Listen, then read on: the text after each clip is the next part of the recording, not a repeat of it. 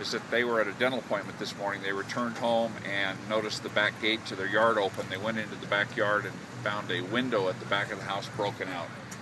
Uh, the male told the female to wait there. He went around to the front of the house, opened the front door with a key where he was struck in the head by someone that was inside the house with, he believes, uh, a semi-automatic pistol.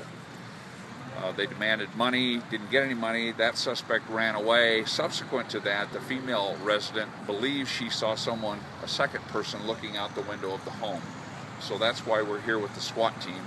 Um, we're assuming that there's another suspect still inside that residence, um, but we don't know that at this point. The person that ran away uh, was seen running southbound from the resident here, went over a fence, um, and we have not located him, nor do we know who that is. So um, it's, it's possible that we have a second suspect in the area here somewhere. Uh, the SWAT team is going to do uh, the thing they do, which is plan, and they've got a description of the interior of the home, and they'll be making entry at some point in the near future to look for that uh, second suspect that we believe may still be in the home. There were reports of shots fired.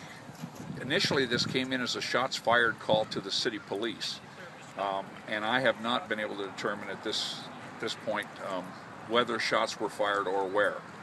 Um, that's one more thing that we've got to uh, figure out as we investigate this apparent residential burglary.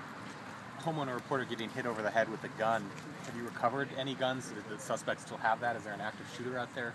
You know, we haven't been to that yard. We don't know. What we know is we had an armed suspect, and so we're going to be uh, making entry into that yard and its curtilage, or that home and its curtilage, with the SWAT team.